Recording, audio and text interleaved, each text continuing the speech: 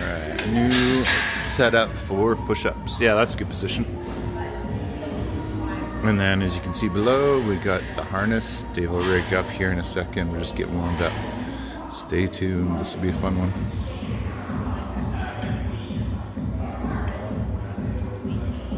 Okay, the setup's half the fun, so we just gotta record Dave doing the setup. Um, see you lock in. We're being ambitious and starting at 25 add-on. And this little baby's fun. It's got so many handle positions.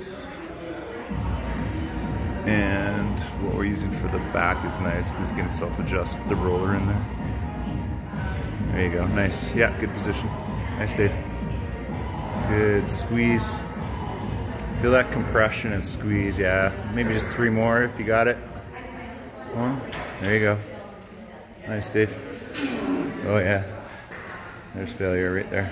Right here, see it? There it is. All right, we lighten load a little bit.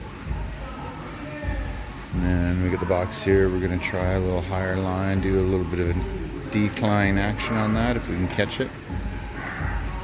Nice, Dave. Hand position changes there. You can see them all over. Really nice. Dave's just also commenting that the harness is great. It just stays nicely in position. So come check it out. Super fun.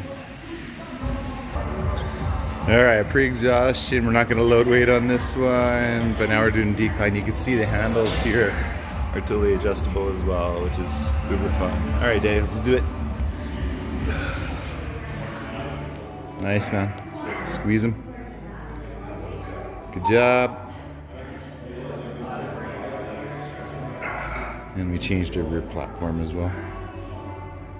Went higher on it.